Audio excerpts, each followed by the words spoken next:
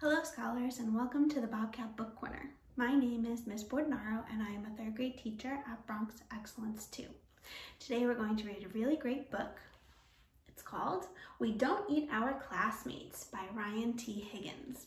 Now I know you're going to love it we all need a little bit of a laugh right now, so enjoy. Hey kids, you will never be eaten by a T-Rex. They are extinct. I promise.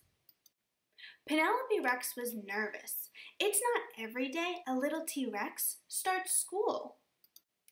What are my classmates going to be like? Will they be nice? How many teeth will they have? This was very important. Penelope's mom bought her a new backpack with ponies on it. Ponies were Penelope's favorite because ponies are delicious.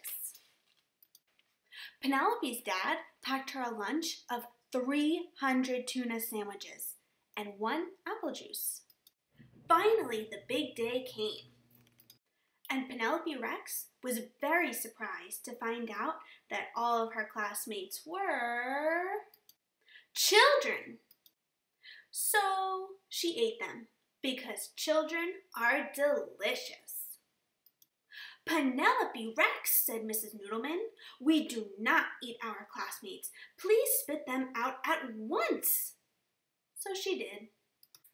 It was not the best way to start school. Still, Penelope was determined to have a good first day. She tried hard to make friends at recess. She finger painted some of her best work. She even saved Griffin Emery a seat at lunch.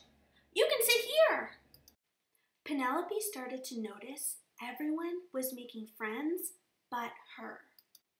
It was lonely. When she got home, her dad asked about her first day of school. I didn't make any friends, Penelope cried. None of the children wanted to play with me. Penelope Rex, her father asked, did you meet your classmates? Well, maybe, Sort of. Just a little bit. Sometimes it's hard to make friends, said her dad, especially if you eat them. You see, Penelope, children are the same as us on the inside, just tastier. That gave Penelope a lot to think about. The next day, Penelope tried really hard, but poor Penelope she could not stop herself from eating her classmates. Mrs. Noodleman, Penelope ate William Amato again.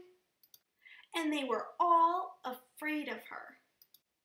Except Walter. Walter was a goldfish. So Penelope tried to make friends with him. Will you be my friend? Chomp! Eee! cried Penelope. He's eating my finger. Once Penelope found out what it was like to be someone's snack, she lost her appetite for children. She stopped eating her classmates, even when Cece Woodman spilled barbecue sauce all over herself. And soon Penelope made friends. Found you! Want a brownie? I helped make them. Now, even when children look especially delicious, she peeks at Walter and remembers what it's like when someone tries to eat you.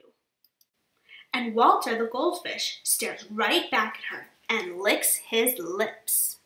Because dinosaurs are delicious. The end. I hope you love that book just as much as I do, and I hope you stay tuned for the next read aloud in our Bobcat Book Corner. Bye, scholars!